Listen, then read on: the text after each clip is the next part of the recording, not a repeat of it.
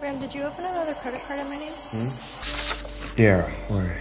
I'm still paying off the last one. I gotta go. Okay, go.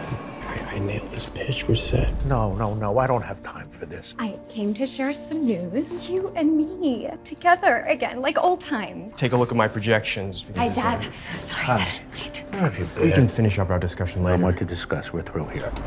I'm, I'm Alvy. Ramsey Stranger. Nice to meet you. What's this? It's about this king. He falls madly in love with this beautiful dancer. Can I see you again?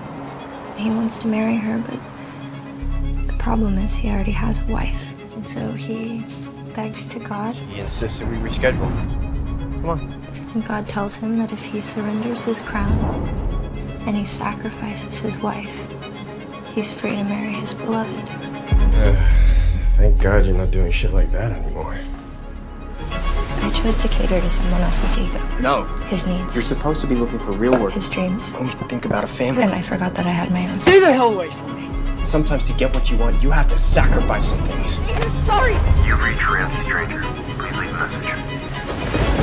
I had this dream that I was jogging down this winding road. I felt like I was being pulled to the edge. I was dealing with a tragedy that hasn't happened. Have you ever felt that way? Ram? Hmm?